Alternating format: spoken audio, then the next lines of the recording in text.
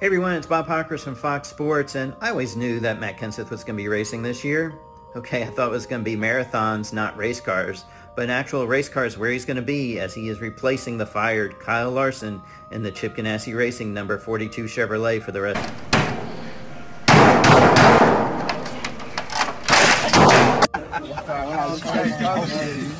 It is what it is. It is what it is.